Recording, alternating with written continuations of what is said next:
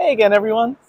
Now that you've gotten into your research teams and set up your field notebook, it's time to start exploring Crystal Cove State Marine Conservation Area.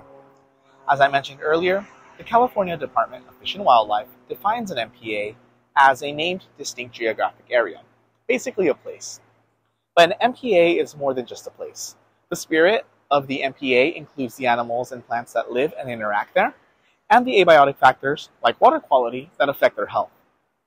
And it also very much includes the people who visit and recreate there, who have long-standing ties to the ocean and land, or even use the MPA as part of their livelihoods.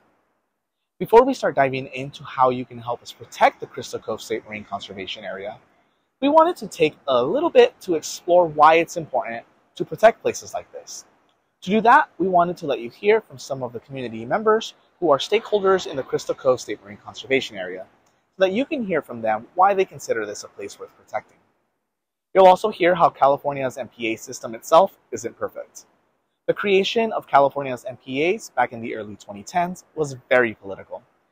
Even though everyone shared the same values and agreed that ocean ecosystems needed to be protected, they felt differently about what regulations needed to be put in place.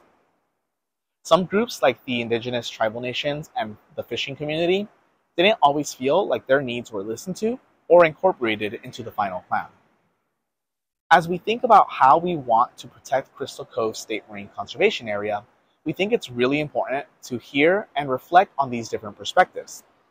In the next slide, you'll see a link to our ThingLink, which is a virtual tool you'll use to be able to explore Crystal Cove State Marine Conservation Area and hear from some of these different stakeholders. After you open the link on your computer, click on the circle labeled with a number 1 to get started. I'll give you an introduction and then you'll be able to explore the ThingLink and learn more about these different perspectives.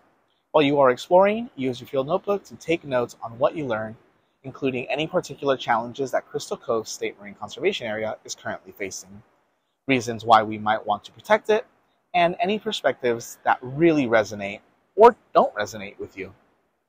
When you're done, you'll join your research team members to discuss what you've learned as a team. Thanks again. I'll see you all very soon.